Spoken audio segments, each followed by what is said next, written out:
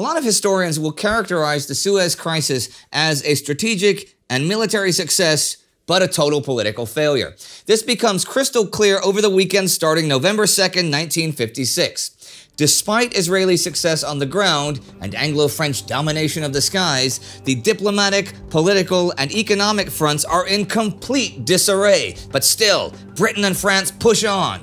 But they are now gambling with global security.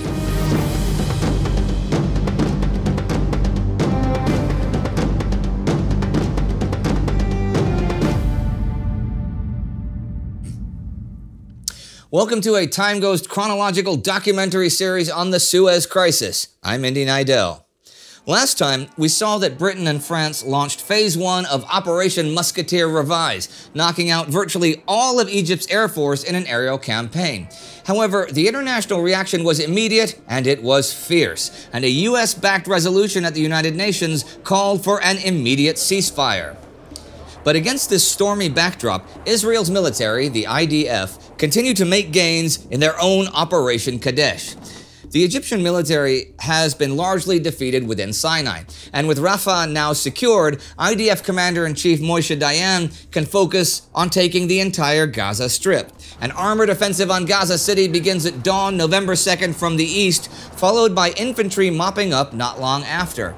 The assault is relatively bloodless, and by noon, the city is in Israeli hands. Dayan hopes he can have the entire strip captured by the end of the day. But logistical issues slow his advance. The remaining Gaza objective is the city of Khan Yunis in southern Gaza.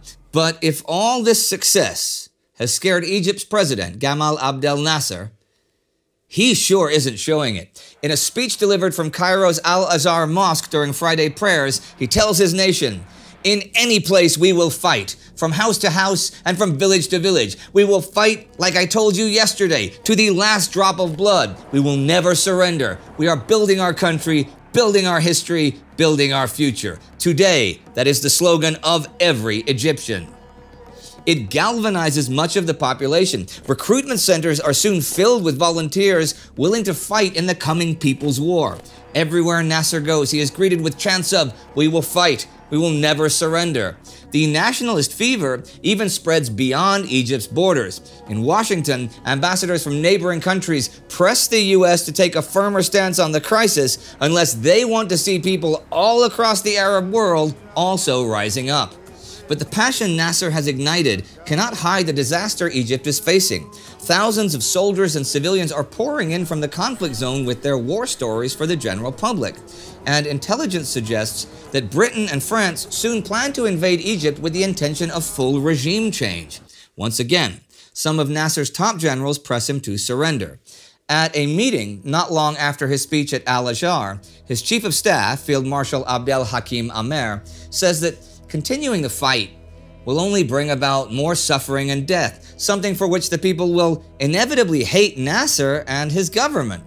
Apparently, most of the leadership agrees.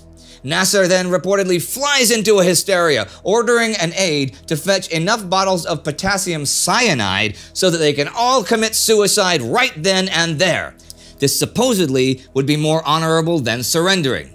His generals and politicians back down. And going away from the script, I'm actually wondering right now how many bottles of potassium cyanide Nasser has just lying around his residence. But okay, anyhow. Nasser is not the only one facing pushback from his military leadership, though. Lord Louis Mountbatten, Supreme Allied Commander in Southeast Asia during World War II, the last Viceroy of India, cousin of Queen Elizabeth II, and currently First Sea Lord of the British Royal Navy, was already against this whole thing from the start coming close to resigning over it back in August. On November 2nd, he makes his misgivings clear again in a handwritten letter to British Prime Minister Anthony Eden, begging him to call off the land invasion. Eden responds by phoning Mountbatten to thank him for his honesty. He then promptly says it is impossible to go back and hangs up. But Mountbatten is not alone. Many Foreign Office officials are outraged, especially as most of them were never briefed on the secret Sèvres agreement that planned the attacks. Their misgivings are not helped by a severe economic crunch looming on the horizon. The Anglo French intervention has led to the pound plummeting in value as financiers across the world sell sterling in a panic. To stop the currency being devalued any further, the Bank of England makes aggressive use of their already dangerously low reserves. This all means that in just the first two days of November, they have lost 50 million pounds. The best way to make up for this loss would be with American support, either through a loan or, or a waiver on existing debts, but US actions have so far indicated pretty strongly that such support probably will not be forthcoming. Alongside the drain in finances, and in fact fueling it, is a looming oil crisis. As you'll know from previous episodes, Western Europe relies on the Middle East and the Suez Canal for most of its oil. But Nasser's block ships in the canal mean that this supply is now cut off. There are now also rumors that the US is considering an oil embargo on the aggressor countries. On November 2nd, British Foreign Minister Selwyn Lloyd tells the cabinet that if this happens, Britain might have to forcefully occupy Kuwait and Qatar to secure their supply. To make the situation even more desperate, after midnight on November 3rd, elements of the Syrian army blow up pumping stations located in Syria, sabotaging the flow of oil even more. In an intelligence report, the CIA estimates that 86% of Western Europe's oil supply is affected. President Eisenhower has the means to solve this, America's powerful oil industry can make up the Middle Eastern shortfall in Europe using oil delivered from the Western Hemisphere. But again, he is not permitting any thought of this to go ahead until a ceasefire is accepted by all sides. But still, the British and French push on. November 3rd is the day that Phase 2 of Operation Musketeer Revise begins. The objective here is an aero psychological campaign that will break both Egyptian morale and their economy. Supreme Allied Commander General Charles Keightley and the rest of the task force commanders order strikes against railway lines, roads, bridges, barracks, and military depots. Taking down Radio Cairo, one of Nasser's critical methods of propaganda, is also an objective. Successful strikes on a transmitter station take it off the air, leaving Britain and France to broadcast a message to Egyptians telling them, We shall bomb you wherever you hide. The date of the actual invasion is also pushed forward. Since the matter was transferred to the UN's General Assembly on October 31st, the French have been pressuring the British to speed things up so that it's not all over before they can send in their ground troops. In the afternoon of the 2nd, French Foreign Minister Christian Pineau flies to London to lobby Eden on that matter. Eden is receptive, and the next day new plans, codenamed Operation Telescope, are approved by the British-led task force. They are relatively modest, not nearly as aggressive as Pineau once, but with mounting pressure even from his own cabinet and continued accusations of being a murderer in the House of Commons, Eden cannot allow the changes to be too radical. The main amphibious landings are now to take place on the 6th, preceded by parachute drops at dawn on the 5th. On the ground on the 3rd, the IDF begin their final push in Gaza to take Khan Yunis. The fighting here is fierce. First, Israeli armor has to punch holes in a defensive perimeter set up by Palestinian soldiers. After this, more armor and infantry pour through and storm their positions. By noon, the city is mostly secured. With all of Gaza now under Israeli control, Dayan and the IDF only still have to secure the Straits of Tiran to round Operation Kadesh off as a complete success. But within Khan Yunis and the adjacent UN refugee camp, the IDF report continuing resistance. In their operation that day to quell it, Israeli soldiers reportedly execute at least 275 unarmed civilians, around half of them refugees. It will become known as the Khan Yunis massacre and will soon feature in a UN report. The report will also include the Israeli side of the story, that those killed were actively resisting IDF occupation. The reported massacre will go largely forgotten with little further investigation conducted. But throughout all this bloodshed, President Eisenhower has been working on getting the situation back to something he can control. He's come around to a proposition by Lester Pearson, Canadian Minister of Foreign Affairs, for a large UN peacekeeping force that can patrol a demilitarized zone within Sinai. Pearson has been pushing this for a while. He even made sure Canada abstained on the previous U.S. ceasefire resolution precisely because it did not provide for such a force. He's been working on getting support for one since, and with American backing, it now looks like it might be a reality. Another critical ally that is emerging for Eisenhower is India.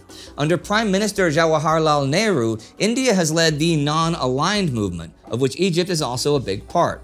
A substantial commitment of Indian troops to the peacekeeping force will legitimize it and be more likely to be accepted by Nasser.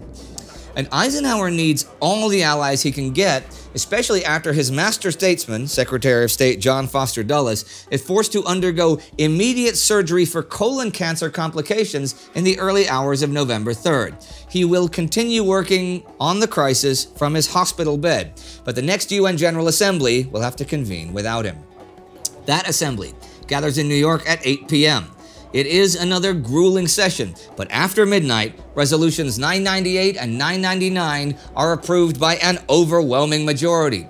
Resolution 998 is sponsored by Canada and directs Secretary General Dag Hammarskjöld to submit a plan for a peacekeeping force within 48 hours. Resolution 999 is proposed by an Indian led Afro Asian bloc and renews the Assembly's demand for a ceasefire and obliges all parties to accept it within 12 hours.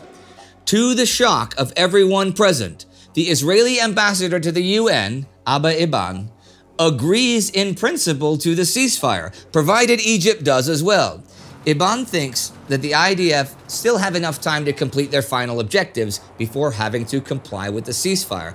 But he's soon receiving anxious calls from the Israeli Foreign Ministry, and Britain and France are furious. Their officials scramble to get him to retract his agreement to a ceasefire.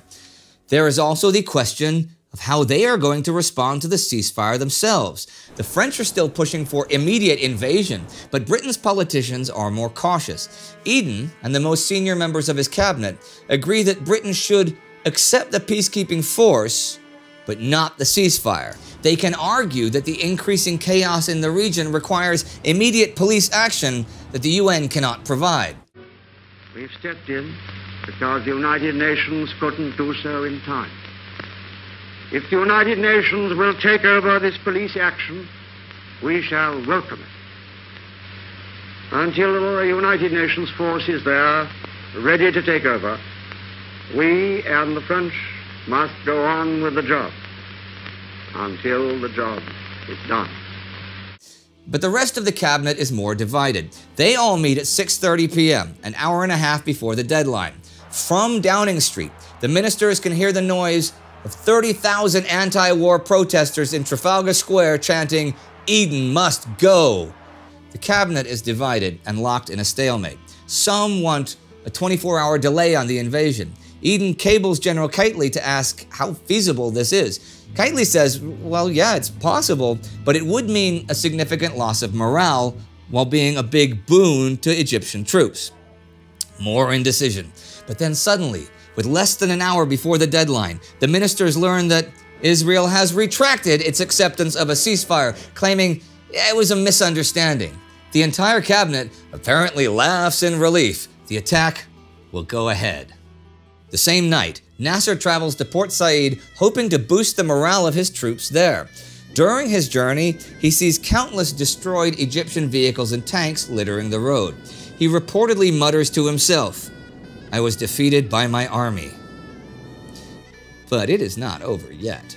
Nasser may have already lost against the Israeli invasion, and the British and French certainly have military capabilities far surpassing Egypt's, but the international community is firmly against the Allied intervention, and Britain's and France's economies are in dire straits because of their actions, and soon, a certain superpower might do much more than proposing sanctions and offering denunciations. Busy with an uprising in Hungary, the Soviets have mostly stayed on the sidelines so far. But if they move against Britain, France, and Israel, they will be threatening not merely military aid, not even military intervention, but full out nuclear war.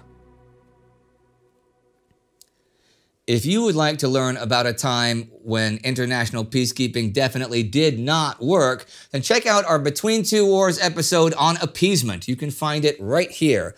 Our Time Ghost member of the week is Noobtella. It is thanks to people like Noobtella that this and, well, all of our series are possible. So to get more awesome miniseries like this one, join us at timeghost.tv or patreon.com. Do not forget to subscribe, and I will see you next time.